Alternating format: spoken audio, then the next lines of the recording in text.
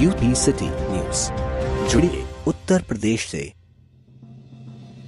Doctor ने भगवान रूपी पेशे को किया शर्मसार। ब्रेन ट्यूमर का ऑपरेशन किया, उसके बाद भी एमआरआई जाँच में आया ट्यूमर। हाल ही में आपको बता दें कि कानपुर में एक डॉक्टर भगवान रूपी पेशे को शर्मसार करने का मामला सामने आया है, जहाँ मरीज़ का ब्रेन ट्यूमर का ऑपरेशन तो किया, लेकिन कुछ दिनों बाद एमआरआई जाँच में ब्रेन ट्यूमर हूबहू वैसा ही आया, जैसा की ऑपरेशन के पहले था। यही नहीं, डॉक्टर ने सफल ऑपरेशन के लिए नाम आरोप पीड़िता ऐसी लाखों रूपए भी ठग लिए। अब डॉक्टर द्वारा ठगी गई पीड़िता महिला और महिला का परिवार, शहर के आला अधिकारियों की चौकट के साथ साथ सूबे के मुख्यमंत्री योगी आदित्यनाथ से पत्र लिखकर इंसाफ की गुहार लगा रहा है। मामला बाबूपुराव के टोपी नगर का है, जहाँ की रहने वाली पीड़िता नूरजहां ने सिर में लगातार दर्द होने के बाद सर के नामचीन दिपिनेशिया मल्टी सुपर हॉस्पिटल में दिखाया, जहाँ नूरजहां ने डॉक्टर विकास शुक्ला की सलाह पर पनेशिया डायग्नोस्टिक में एमआरआई ब्रेन की जाँच कराई। डॉक्टर दुष्यंत वार्सने ने की थी ये जाँच। जाँच की रिपोर्ट आई तो पीड़िता और उसके परिवार के पैरों तले ज़मीन खिसक गई। एमआरआई रिपोर्ट में नूरजहां को ब्रेन ट्यूमर होने की बात सामने आई। ऑपरेशन द्वारा ठीक होने की कही गई बात परेशान परिवार जब रिपोर्ट लेकर डॉक्टर विकास शुक्ला से मिला तो डॉक्टर विकास शुक्ला शुक्ला ने कहा कि परेशान होने की कोई बात नहीं।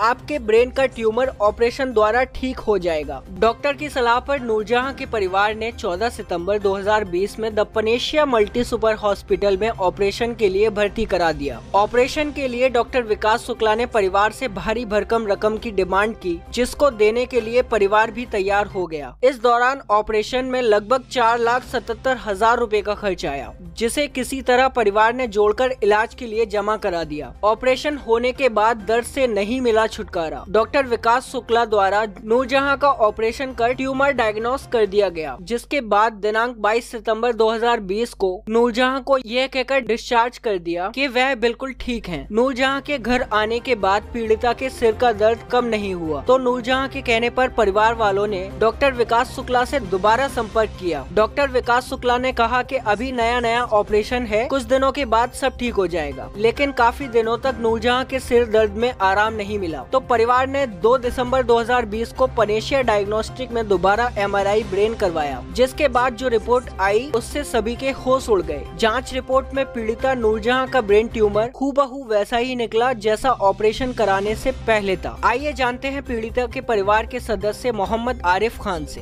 क्या नाम है आपका? जी मोहम्मद आरिफ। आरिफ ये बताइए माता जी की तबीयत कब से ख़राब थी और कहाँ पर इलाज कराया आपने? जी तीन तीन साढ़े तीन महीने से इनकी तबीयत ख़राब थी। हम इनको दीपनेशिया हॉस्पिटल लेके गए।